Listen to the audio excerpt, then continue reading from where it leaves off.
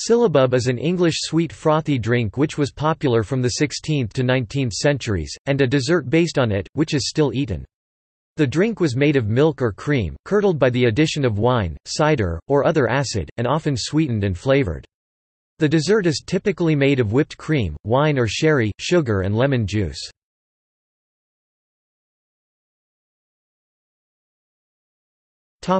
History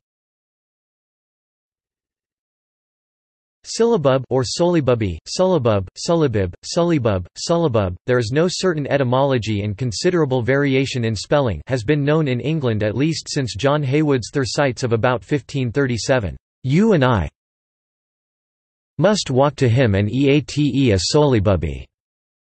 The word occurs repeatedly, including in Samuel Pepys's diary for 12 July 1663.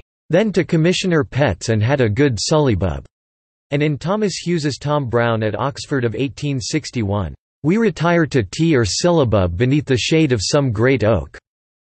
Hannah Glasse, in the 18th century, published the recipe for whipped syllabubs in The Art of Cookery, made plain and easy.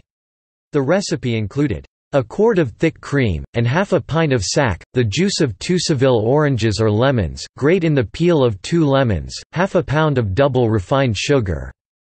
After whipping the ingredients together, they were poured into glasses. The curdled cream separated and floated to the top of the glass.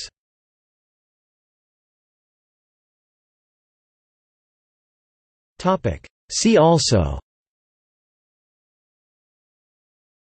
Cranachan, a similar dessert from Scotland